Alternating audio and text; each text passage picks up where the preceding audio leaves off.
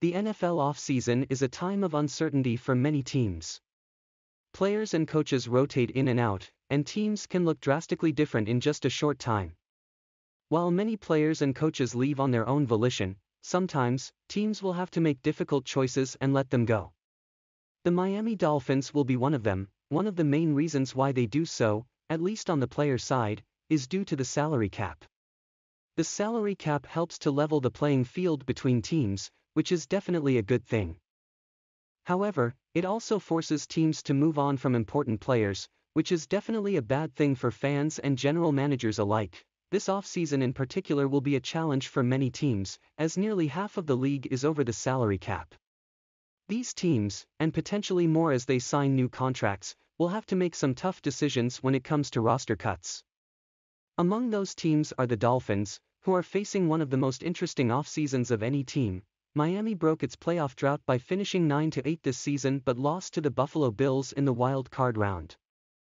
While Tua Tagovailoa showed great strides this year, his injury history has led to questions about his future. On top of that, the Dolphins are also about $13 million over the salary cap and need to get under it. To do so, the Dolphins may have to part ways with some of their highest earning players. One such player is cornerback Byron Jones, who didn't play this season and the Dolphins would save big by cutting him after June 1st.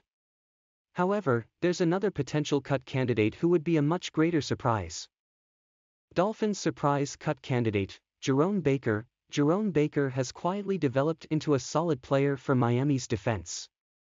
In five seasons, he has racked up 509 tackles, 21 sacks, 6 forced fumbles, and 3 interceptions. More importantly, he has played in every game but one over that time, so he's plenty dependable. So, why would the Dolphins get rid of a solid and reliable player like Baker? Well, it all comes back to our good friend, the salary cap. Baker has the sixth highest cap hit of any Dolphin at roughly $12.8 million. Now it may sound like cutting him may be enough to get the team back under the cap by itself, but it's not that simple. Thanks to dead cap hits, Miami will only save just over $4 million by cutting Baker. However, those savings would jump to over $9 million if the team cuts him after June 1st. That said, cutting Baker isn't the Dolphins' only option here. They would get the exact same benefits if they traded him instead, and could get some assets back.